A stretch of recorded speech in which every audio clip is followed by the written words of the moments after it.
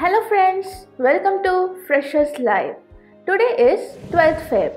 Here I will discuss all the important questions that may be asked from today's current affairs and important facts related with each question.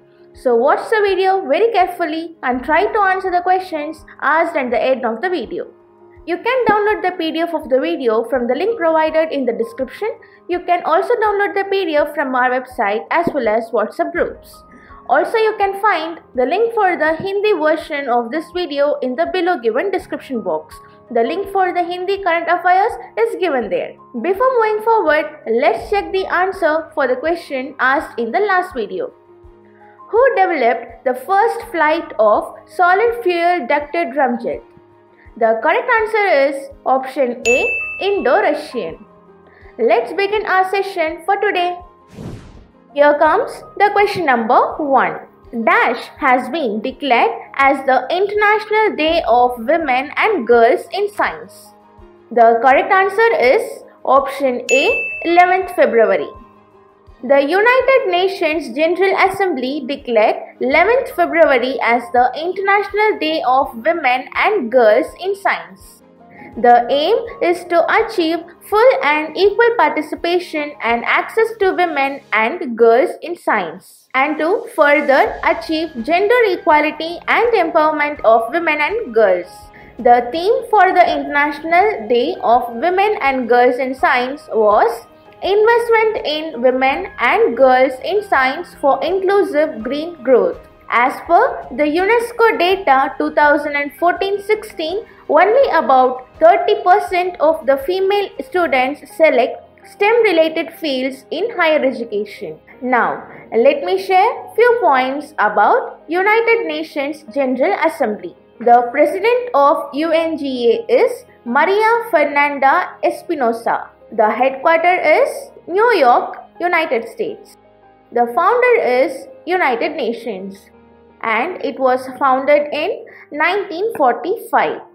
The subsidiaries are UNICEF, United Nations Development Programme, United Nations System Staff College.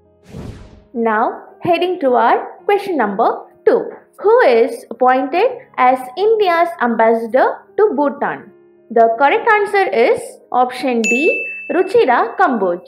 Ruchira Kamboj was appointed as the ambassador of India to Bhutan. She is currently serving as the High Commissioner of India to South Africa since 2017. She is expected to take up the assignment shortly. She is a 1987 Cadre Indian Foreign Service officer. Kamboj has previously served as the ambassador to permanent delegation of India to UNESCO Paris. Now, let me share few points about Bhutan. The capital is Thimphu. The currency is Ngultrom. The Prime Minister is Lotay Tshering. The King is Jigme Khesar Namgyal Wangchuck. Now, Moving towards our question number 3. With which country did India sign a letter of intent for marine pollution initiative recently? The correct answer is option C, Norway. India and Norway signed a letter of intent for establishing the India-Norway Marine Pollution Initiative.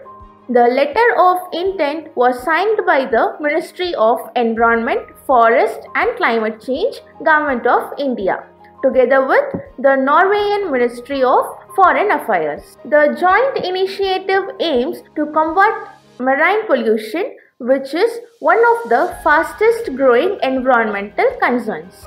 Now, let me share few points about Norway. The capital is Oslo. The official language is Norwegian. The monarch is Harald V. Prime Minister is Erna Solberg. The currency used is Norwegian kron.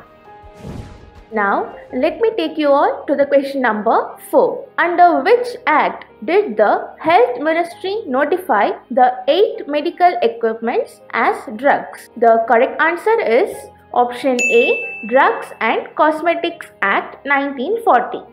The government has notified 8 medical equipments as drugs under Section 3 of the Drugs and Cosmetics Act with effect from April 1, 2020. The decision was made after consultation with the Drugs Technical Advisory Board. The notification brings all the implantable and diagnostic devices will come under the regulatory framework. The equipments are all implantable devices, CT scan, PET equipment, MRI equipment, defibrillators, dialysis machines, bone marrow separators, X-ray machine. Now, let me share few points about Drugs Technical Advisory Board. It is the highest statutory decision making body on technical matters related to drugs in India. It was constituted under the provisions of the Drugs and Cosmetics Act 1940. The Drugs Technical Advisory Board is part of the Central Drugs Standard Control Organization under the Ministry of Health and Family Welfare. Now, heading to our question number 5. Who inaugurated Cremica Food Park, the first mega food park of Himachal Pradesh? The correct answer is option A, Srimati Harsimrat Kaur Badal. The Union Minister for Food Processing Industries, Harsimrat Kaur Badal, inaugurated Cremica Mega Food Park Private Limited in Una district of Himachal Pradesh. This is the first mega food park organized in the state of Himachal Pradesh. Now, let me share few points about the food park. This mega food park has been set up in 52.40 acres of land at a cost of rupees 107.34 crore. The park have a common administrative building for office and other uses at Solan, Mandi and Kangra. Ministry of Food Processing Industries implemented Mega Food Park scheme in the country to give a major boost to the food processing sector by adding value and reducing food wastage. Now, let me share few points about Himachal Pradesh. The capital is Shimla. The chief minister is Jai Ram Thakur. The governor is Acharya Dev Vrat. Now, heading towards our question number 6. The 7th annual World Government Summit is being held at Dash. The correct answer is option D, Dubai, UAE. The 7th annual World Government Summit is being held in Dubai. The summit is being attended by 4,000 decision makers from 140 countries including head of states, ministers and business leaders. In Dubai, the World Government Summit is a forum dedicated to shaping the future of governments. Now, let me share few points about World Government Summit. The World Government Summit is a global platform dedicated to shaping the future of governments worldwide. The summit sets the agenda each year for the next generation of governments focusing on how they can harness innovation and technology to solve universal challenges facing humanity. It also provides a unique platform to showcase and exchange best practices and smart solutions to the challenges that nations face. Heading to our question number 7 who becomes the first woman to win MRF Challenge Championship title? The correct answer is option B, Jamie Chadwick. Jamie Chadwick, female driver from England, won the MRF Challenge title. She made history by becoming the first female driver to win the title after scoring a triple win in the final round in Chennai, Tamil Nadu. MRF Challenge is an open wheel motorsport formula based in India organized by Madras Motorsports Club. It was inaugurated in the year 2013. Now moving to our question number 8. Where is the Dikkibandi Stadium which is named after P.A. Sangma located? The correct answer is option B Meghalaya. Meghalaya cabinet decided to rename the Dikkibandi Stadium in Tura town after former Lok Sabha Speaker Purno A. Sangma. Purno Agitok Sangma served as the Chief Minister of Meghalaya from 1988 to 1990. Now, let me share few points about Meghalaya. The capital is Shillong. Governor is Tathagata Roy. The Chief Minister is Conrad Sangma. It is formed in the year 1972, January 21.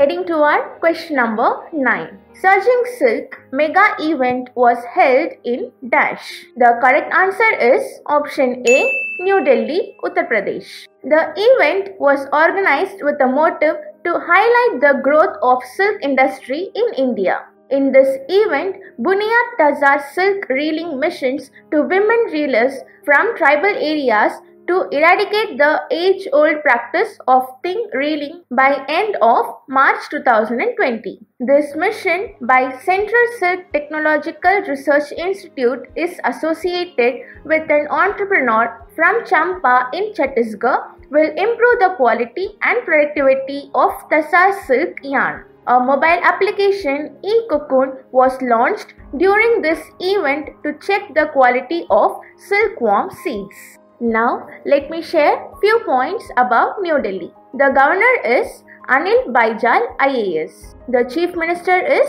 Arvind Kejriwal. The deputy chief minister is Manish Sisodia. The chief secretary is Anshu Prakash. Now, moving to our last question, question number 10. Which country hosted second joint secretary level meeting to assess India-Nepal trade treaty? The correct answer is option A, Nepal. The two days second joint secretary level meeting to assess the India-Nepal trade treaty was organized in Pokhara, Nepal on 7th Feb 2019 to deliberate upon various bilateral issues and non-tariff barriers in bilateral trade. India deputation was led by Bhupendra Singh Bhalla, the Joint Secretary of South Asia, Department of Commerce, whereas Nepal deputation was led by Ravi Shankar Sainju, the Joint Secretary of Ministry of Industry, Commerce and Supplies. This meet was based on the comprehensive review of the existing bilateral trade treaty to enhance both ways commerce and investments between India and Nepal. Now, let me share few points about Nepal. The capital is Kathmandu. Currency is Nepalese rupee. The president is Bidya Devi Bhandari.